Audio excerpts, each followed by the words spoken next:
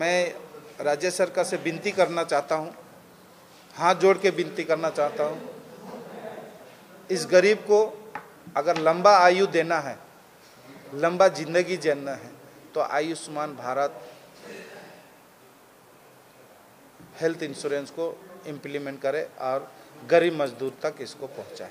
आयुष्मान योजना लागू करने के लिए केंद्र सरकार क्या पदक्षेप लेगा देखिए, केंद्र सरकार तो इम्प्लीमेंट कर दिया अगर राज्य सरकार उसको उसको इम्प्लीमेंट करे ना, जिसके कारण से हज़ारों हज़ारों लोग चिकित्सा के कारण से दुनिया छोड़ के चले जा रहे हैं। ये आयुष्मान भारत मेडिकल इंश्योरेंस अगर हर घर में इम्प्लीमेंट हो जाएगा, लागू हो जाएगा तो इसका लाभ ले पाएँगे।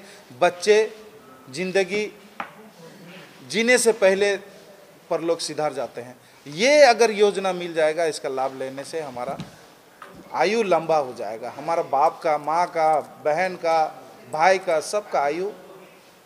प्रधानमंत्री ने सोच समझ के ये योजना बनाए।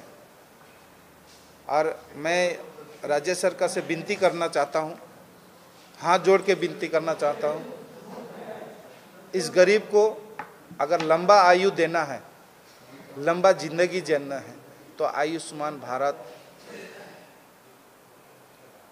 हेल्थ इंश्योरेंस को इम्प्लीमेंट करे और गरीब मजदूर तक इसको पहुँचाए।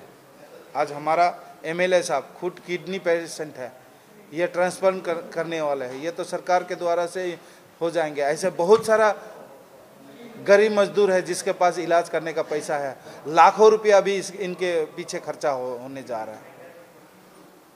मैं खुद मेरा अपना मिसेज किडनी ट्रांसप्लांट पेशेंट है। अभी बचा पाए तो ऐसा मेरा जैसे कई कितना गरीब मजदूर है, यहाँ पे